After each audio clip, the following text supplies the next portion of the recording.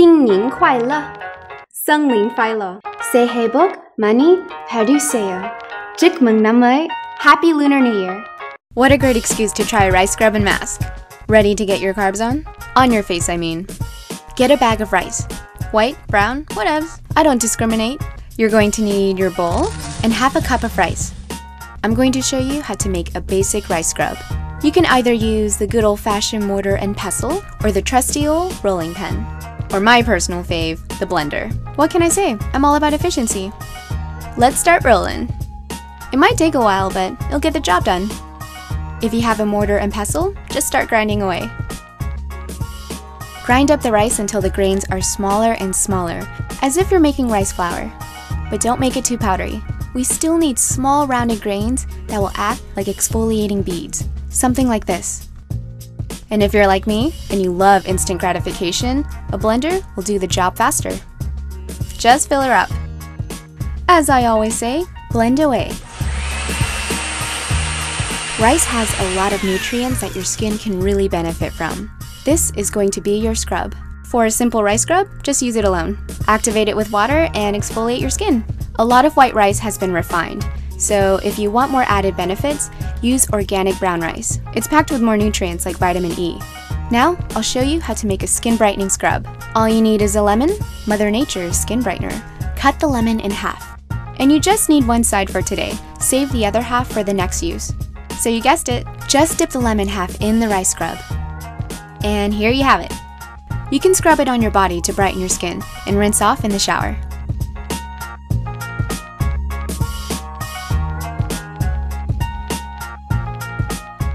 Or you can exfoliate your face to brighten your complexion. For those who are battling acne, you just need a little bit of honey in your life. Pour the rice on the honey and mix it in. Now your scrub is ready. This is great for the face and body, and I recommend using this in your shower. Honey has a lot of healing properties. It's an antibiotic. Now let me show you how to make a rice mask. I have here rice paper wrappers, or in Vietnamese, bánh tráng, these are edible Vietnamese rice papers. They're pretty sturdy and flexible. My mother and I used to make spring rolls together. Delicious and healthy. Get your scissors ready. We're basically going to cut out a face shape. The first piece will be your forehead. Make a cut here and there. Snippety snip. And here we have the piece for the forehead. So now you're left with this. Just cut it in half.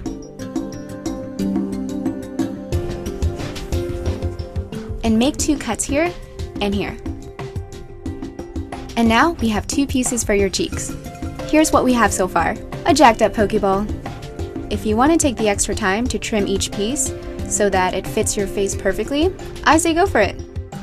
When the mask is custom tailored for your face, it's going to feel so much more comfortable. Cutting this piece out so that it fits right under my mouth and not over it.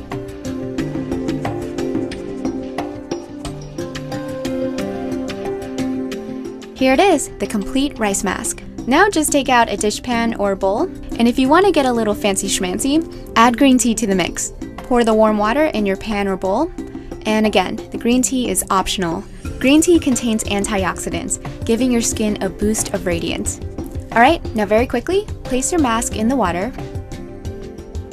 30 seconds is all you need. The rice paper will be soft and stretchy, but don't be fooled. It's still strong, but gentle enough for the skin. Now it's time to start placing each piece on your face. I'm going to start with my cheeks. Get the other side too. Ooh, perfect fit. Now for the forehead. This piece goes on the lower part of the face. Make sure it's nice and snug Last piece is for the nose. And there you have it. This mask has a natural cooling sensation, so it's gonna feel really good.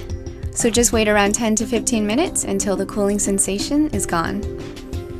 It's dry and ready to be peeled off. Ta-da! Best part? It's biodegradable. And if you want to be mean, dare someone to eat it. just kidding. Let's give our skin more love this year. This is the New Year special actually. This is Korean barbecue beef burger. Actually was sold on the food truck on our show. Korean and barbecue. Backed by popular demand. These little suckers right here are going very well, so. Korean barbecue beef burgers. Okay, I'm gonna start eating. 새해 복 많이 받으세요. Mmm. Cut.